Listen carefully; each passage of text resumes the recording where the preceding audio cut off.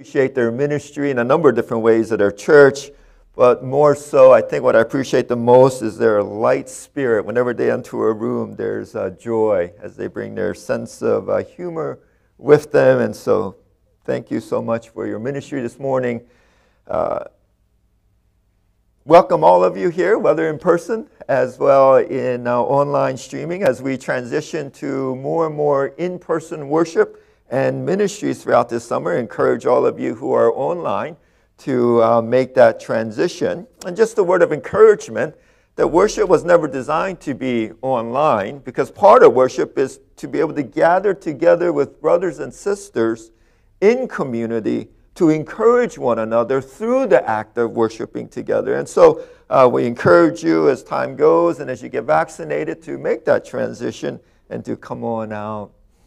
Uh, we are continuing our series in the plot line of Scripture. Last uh, week, Kukum preached on the Judges, the book of Judges. He introduced us to the book and then explored the life of Gideon. And uh, even as we look at Gideon, we see some of the character flaws uh, within that particular judge as he led Israel. And now, uh, this morning, we look at Samson, where the character flaws are not just cracks, but it explodes within his life. And one of the we, things that we realize through Judges is how Israel and the leadership as well deteriorate in terms of their relationship with God, in terms of the way they worship uh, idols, and especially in terms of the morality in their life. And so I trust that God will bless you as we explore the life of Samson uh, this morning. Most of you have not heard of the name Michael Kennedy. Uh, perhaps all of you have not heard of him. You certainly recognize his last name, and perhaps you wonder, well, is he related to that famous family? Uh, I first heard of Michael Kennedy from a Time magazine article because uh, uh, he had died in an accident in a ski slope, and it was chronicling his life, and it was sort of like a eulogy. And as I was reading it, I felt the tragedy of his uh, accident even more.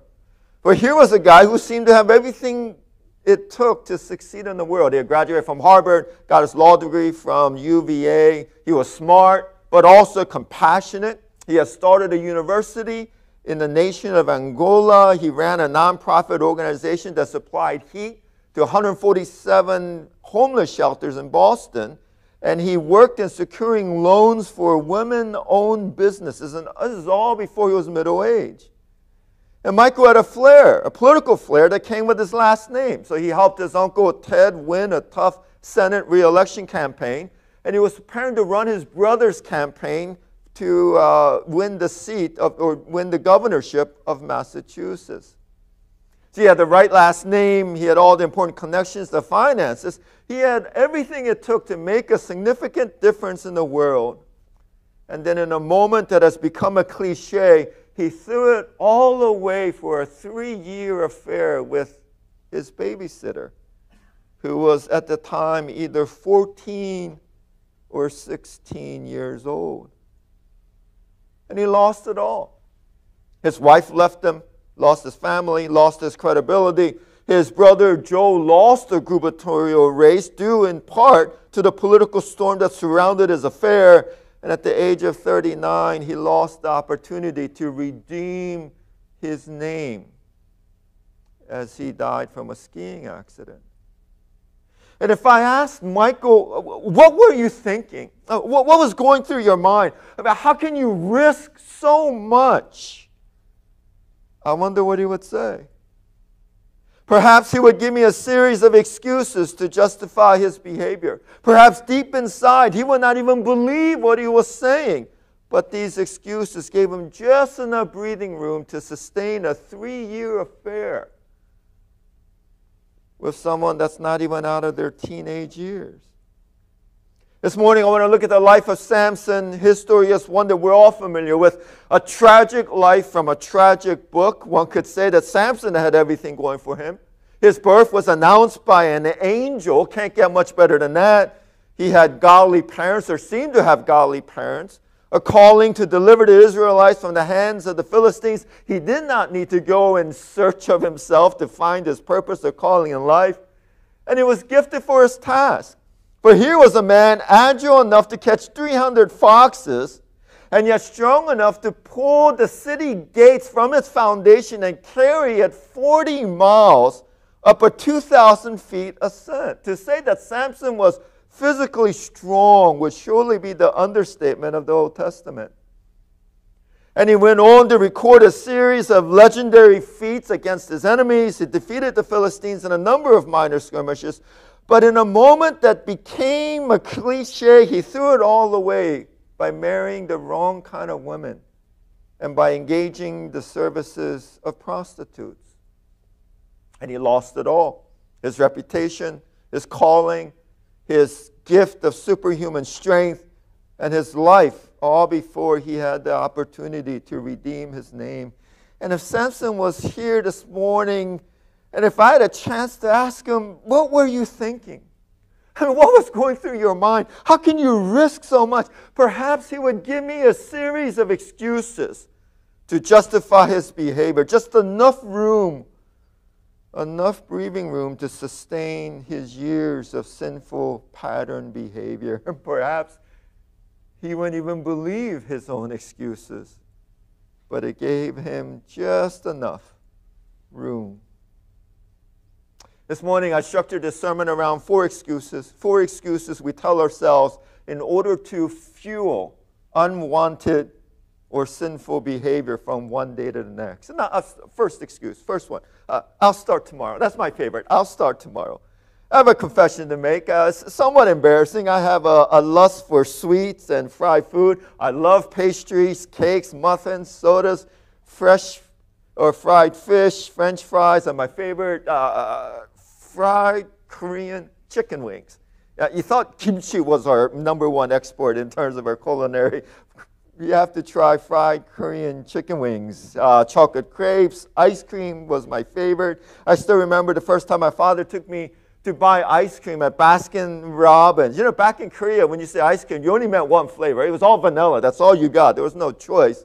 But Baskin Robbins, 31 flavors with all kinds of sauces, toppings. Talk about the American dream come true for a kid. And I remember one time they had this promotional item called the Matterhorn. I still remember the name. There's eight scoops of ice cream, three different sauces, whipped cream, bananas, nuts, sprinkles. And the server kept telling me, you know, that's eight scoops. That's half a gallon of ice cream. And I ordered it and I finished it, and she was so impressed that she gave me an extra scoop as a reward. That's the last thing I wanted. And I still remember driving home, and uh, my father's driving home, and I'm sitting in the back, and my sister and my mother keep wanting to touch my stomach because it had literally chilled, and you could feel how cool it was. You know, that's okay when you're 10 or 11 years old running around and playing tennis every day. That's not much of a problem, but when you hit your middle age and it becomes a major issue. And so I worked hard at controlling what I ate until one summer a pastor friend of mine suggested we go on a quest, you know, sort of like a bucket list for that summer. And, you know, you thought it'd be something like running a marathon or reading the top five novels ever written. But uh, he wanted to eat the top 10 burgers as ranked by the Chicago Tribune newspaper. And so for that summer, we went from one restaurant to the other because, uh, you know, the only sin that's tolerated among Christian leaders, that's uh, being a foodie, right? Being a gluttony is the only sin. And so we went through each of the restaurants that summer, and my eating habit just got shot. I was drinking soda left and right. To this day, I cannot eat a burger without drinking Coke, and uh, I think I became addicted to the point where my wife stopped buying soda in the house. And my low point came when I bought a case of Coke and left it in the trunk of my car. So that every time she left, I would go out into the car, get a can, bring it into the house, and drank it. I felt like a drug dealer doing that. And I knew it was bad. It wasn't that I was ignorant. I could read the nutritional labels on the can. I watched the YouTube videos of what Coke can do. And I knew in my mind that it was unwise, in fact, downright stupid. But one of the things that I told myself that worked every time, you know, I'll start tomorrow. I'll start tomorrow. Because you see, that's a wonderful promise because it gave me freedom today to live it up. Eat whatever you want because tomorrow will be different. I'll change tomorrow. I'll start eating healthy tomorrow until tomorrow comes and the cravings just grow stronger. And after a while, you know, you give the same excuse and you don't even believe it. But it doesn't really matter because there's just enough hope there that I'll change tomorrow, that I feel free to enjoy the guilty pleasure today. I wonder if Michael Kennedy or Samson ever used that excuse. You know, just one more affair, just one more sexual encounter, just one more video. But tomorrow, it'll be different. You'll see. In Judges 14 to 16, we find the life of Samson there. But what is interesting is that Samson's life is told in two literary movements. So in chapter 13, we find the description of his birth. Chapter 14, Samson goes down to Timnah and climaxes with the slaughter of the Philistines with the jawbone of a donkey in chapter 15, verses 14 to 20. The second movement starts in chapter 16 with Samson going down to Gaza and climaxes with the slaughter of the Philistines in the temple of Dagon and the loss of his life at the end of chapter 16. What is interesting is how similar those two cycles are. Both sections end with a summary statement. Chapter 15, verse 20 Samson led Israel for 20 years in the days of the Philistines. Chapter 16, the very last verse, he led Israel 20 years.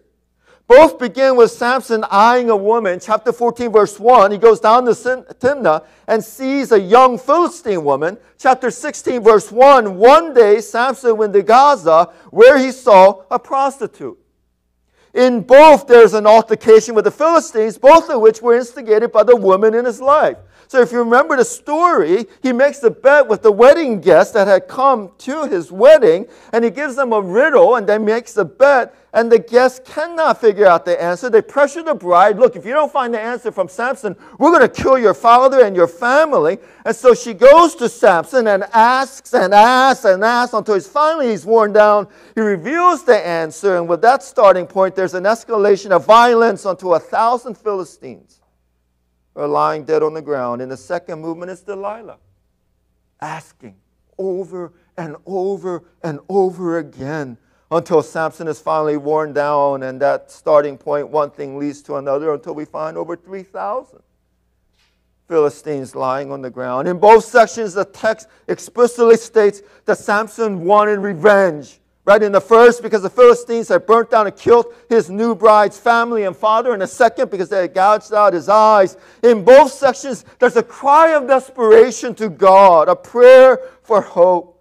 It's almost as if the writer of Judges was trying to tell us something about the life of Samson through these two literary cycles. That here is Samson in the beginning of his ministry, here is Samson at the end of his ministry. It's been 20 years and nothing has changed.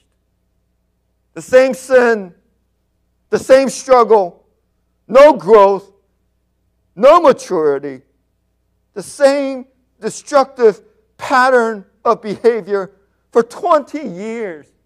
And I wonder if he asked himself and told himself, you know, I'll just start tomorrow. I'll just start tomorrow. Because if he did, I can sympathize. It's one of my favorite excuses because it's such a powerful excuse. I can enjoy my sin today because I have the fresh start that I promised myself for tomorrow.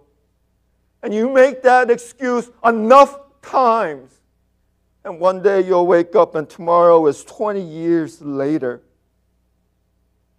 and nothing has changed. Second excuse I can control it. I can stop anytime that I want. I'm amazed by the number of powerful men who have fallen into sexual sin over the years. I know perhaps it's a 24 hour news cycle and we need news constantly. Perhaps it's the culture in which we live in. But there's a daily dose almost every other day. In fact, on Friday, there was another Hillsong pastor and sexual downfall.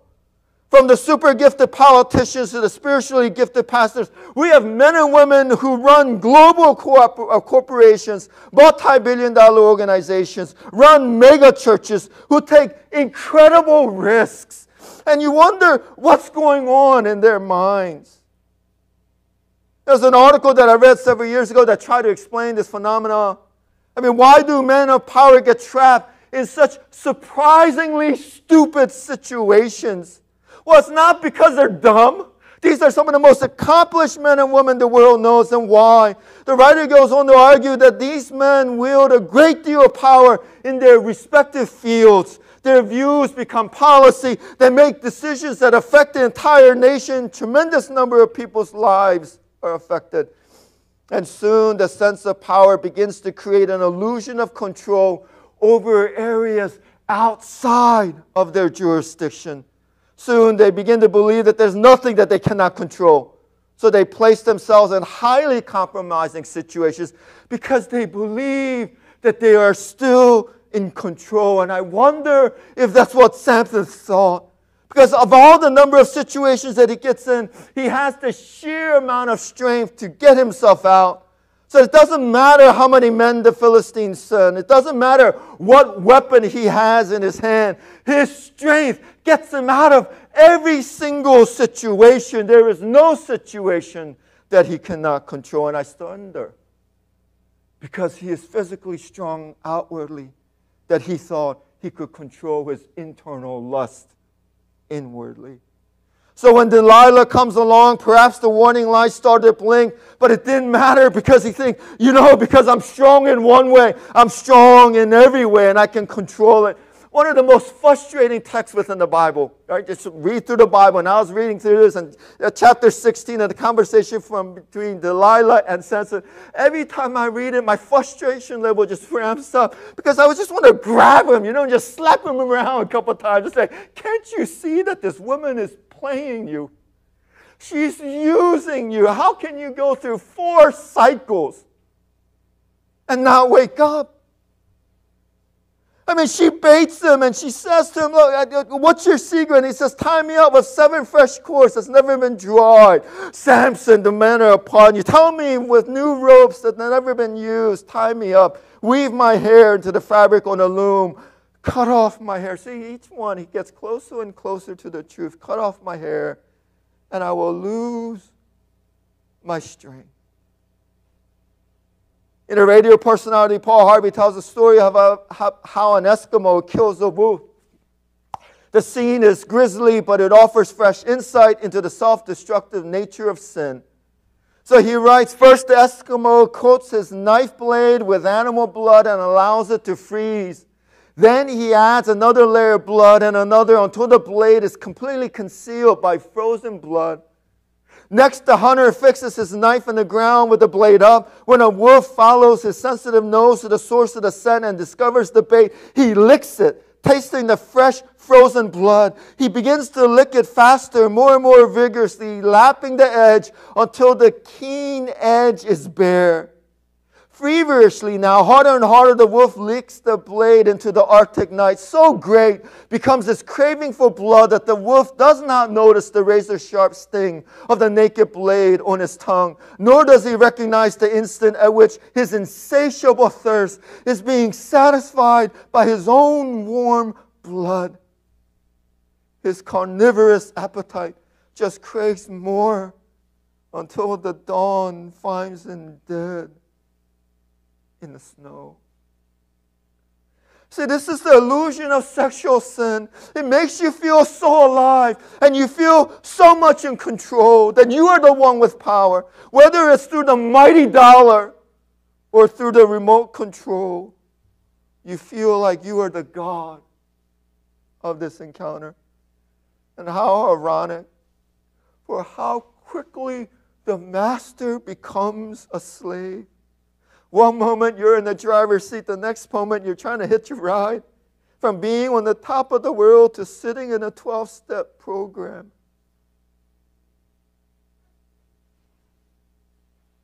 Third excuse God will be gracious, He will forgive me.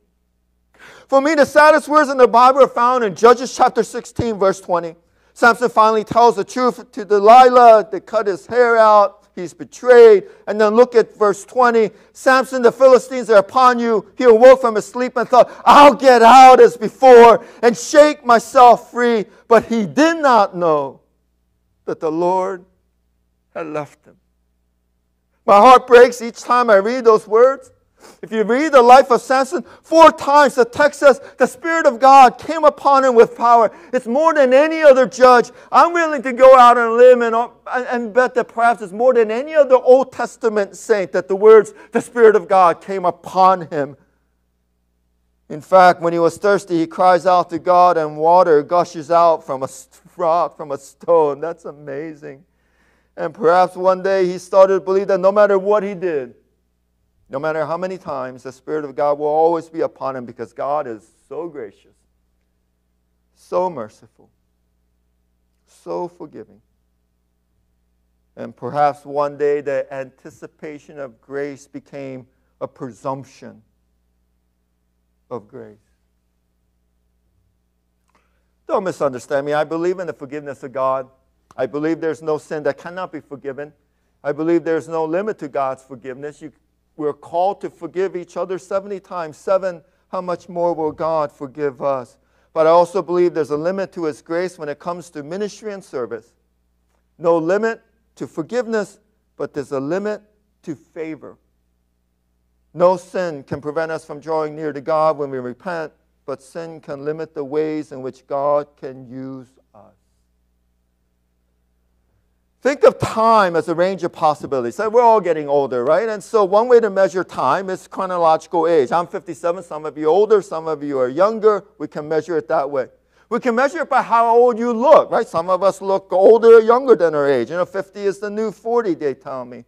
One can measure it by accomplishments. Wow, she's so young for all the things she has accomplished. But there's another way to measure time in terms of possibilities. So that the younger you are chronologically, the greater the range of possibilities. So that when you're five years old and I ask you, what do you want to do with your life? The, the range, uh, the possibilities are almost limitless. You can do whatever you want. But as you get older, the range decreases. Yes, possibilities still exist, but far less than when you were younger. So that when I was a kid, I wanted to be an astronaut. I read all these books on being an astronaut. I got a telescope. That was a possibility back then. That is not a realistic possibility any longer because as age increases, possibilities decrease. And death is the cessation of all possibilities. Now just replace time with immorality, with sexual sin. The more immersed we are, the more limited our possibilities. That with each pattern of sin in our lives, the number of possibilities of the way that God could use us shrinks. It decreases until one day we experience ministry death. See, this is one of the most devastating effects of sin. It prevents us, prevents God from using us in ways that we will never know how He could have used us if we had kept our lives pure, right? They're clean vessels, unclean vessels. Some tasks God will use clean vessels alone. You know, I look at the life of Samson and I see a number of victories here and there, and he has quite a resume, and I, I have no doubt that God used him sovereignly. But I wonder if Samson was able to invoke the Spirit of God into his sexual urges so that he was pure before God, what God could have done. How could the story have been different? And what's so sorrowful is that we will never know and he will never know. Because his life had never changed in 20 years. Finally, the last excuse. As long as no one gets hurt, right? As long as no one gets hurt. This is one of the biggest lies in our culture. Someone always gets hurt above and beyond the participants. This is especially true with sexual sin the consequences of the obvious ones that affect affected, yeah, family, people that you know, your friends, people at church, the next generation. But in every sexual sin, there are people who are affected that you do not even know of, even in the privacy of your own home. You click that link, you are contributing to a culture that sees women as a means to the fulfillment of another's fantasy. We may never know how many people are affected by the things that we think no one else knows that we do. And when we come to Samson, it's not just about him and the woman in his life, but an entire nation is hurt. Why? Uh, remember, Samson's story is told in two movements, right? So Judges 14, Judges 16. And remember how similar those two cycles are. Well, in the story of Judges, in the book of Judges, it's broken down into a number of different cycles, each cycle for each of the judges. And in each of the cycle, you get this cycle of Israel doing wrong, right? And then you get the divine punishment, enslavement for an X number of years. Israel cries out, God raises a judge, He delivers them, and the land is in peace. It's almost like the writer was saying that after all of these hundreds of years of judges' rule, Israel has not changed one bit. Why? Because it's the same cycle from the beginning of the book to the end of the book. After experiencing the grace of God's deliverance for all of those years, their spirit has not changed. They have not matured. They have not grown. They continue to do what is right in their own eyes, no matter how many times God has delivered them and Samson was no different. Still the same after 20 years, just like the Israel after hundreds of years. Samson was called to be a judge. He's supposed to lead the nation, not just militarily, but in terms of his character. And instead, he became a product of his culture. Because just as the nation of Israel became accommodated to Philistine culture, so Samson only pursues Philistine women. Just as the Philistine leaders were motivated by revenge, so Samson seeks vengeance. Just as Israel did what was right in his own eyes, one can put on the top of his tombstone, Here lies a man who did what was right in his own eyes. Of all the characteristics of a leader, there is one that is non negotiable. Leaders have to lead, you cannot follow. They cannot make decisions by the poll numbers. They cannot reflect the culture. They're supposed to model and envision and move forward. In a study done exclusively for Newsweek a couple years ago, uh, Melissa Farley was a director of prostitution research and education based in San Francisco. She wanted to do a study on the attitudes of men who had engaged in services of a prostitute with those who did not. Now, by prostitution, she didn't just mean prostitution, but she included pornography, phone sex, and visiting strip clubs. And their method was to gather 100 men who had not engaged in any of these behaviors for the past one year to compare their attitudes with uh, those who had engaged in such practices. And the results of the surveys were somewhat predictable, but what shocked me was not the survey result, but the fact that it was virtually impossible for the researchers to find 100 men in their local area who would qualify as non users. They couldn't find 100 guys that did not engage in one of those activities in the last year. And so they had to lower the standard. So non users were now defined as men who have not visited a strip club more than twice in the past year, who have not used pornography or phone sex or, or, or, or uh, other sexual means more than once in the past month. Only then did they find a hundred qualified men. And before you say, you know, that's San Francisco, you're not going to find that in San Francisco. When I was in uh, Illinois, I did a research. And uh, part of the country that used Google to find porno sites more than any other place was Des Plaines, Illinois. And you may not have ever heard of Des Plaines, Illinois but the availability and ease by which our culture can access sexually explicit material is killing the soul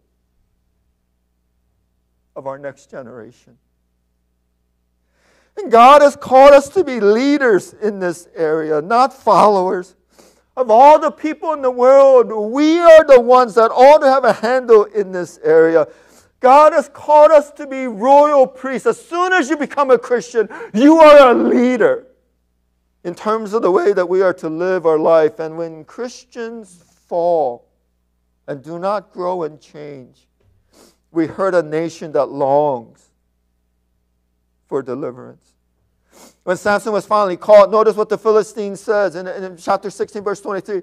Now the lords of the Philistines gathered to offer a great sacrifice to the Dagon, their God, and to rejoice. And they said, Our God, our God has given Samson, our enemy, into our hands. In other words, our God is greater than the God of Samson because we have Samson in our hands. And when the people saw him, they praised their God. For they said, Our God has given our enemy into our hand, the ravager of our country, who has killed many of us. Every time there is another story of a Christian leader, a Christian congregation member, we are hand gifting the world another opportunity to demean the cross and to speak ill of God. See, this is Israel. They're called to be a light to the nations, and they are no better. And rather than giving testimony to God, they are giving ammunition to the world. After a summer of feasting on burgers and gushing down Coke, I had a physical. I still remember that day with great clarity because when I went in, the nurse took my blood pressure and then asked me to step on a scale. And I knew I had gained some weight, but that was a wake up call. I clocked in at 192 pounds.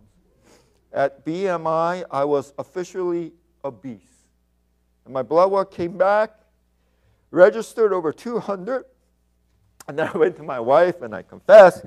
And she did not chew me out. She didn't get angry. She didn't say, I told you so. All she said was, You know, the kids will still need you when they're older. I hope you're still around. And that was all that she needed to say for me to wake up. See, no one sins alone. Somewhere, someone is always affected, and all the more so with sexual sin.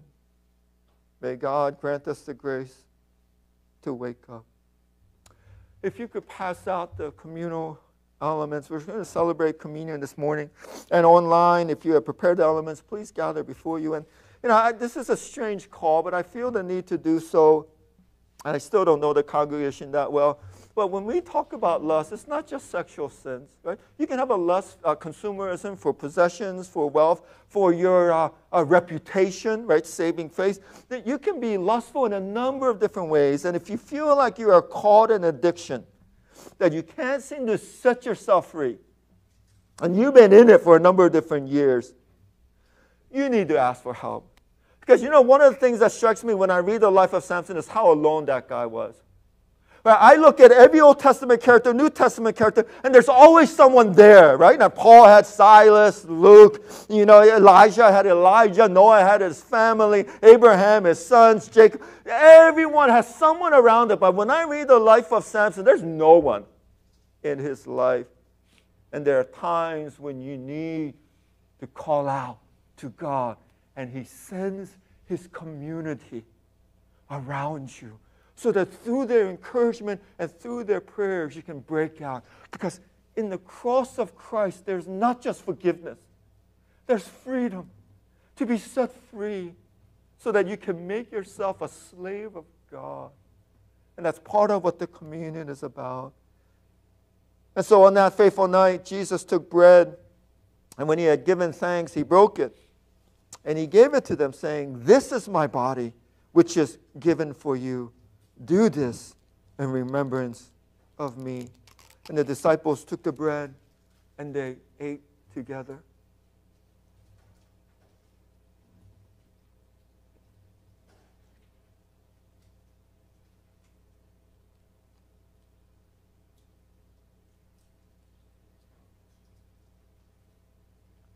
And after they ate the bread together, Jesus took a cup of wine that represented his blood. He said, This cup that is poured out for you is the new covenant in my blood, where there is not just forgiveness, but there is freedom as well. And the disciples took the cup and they drank it together.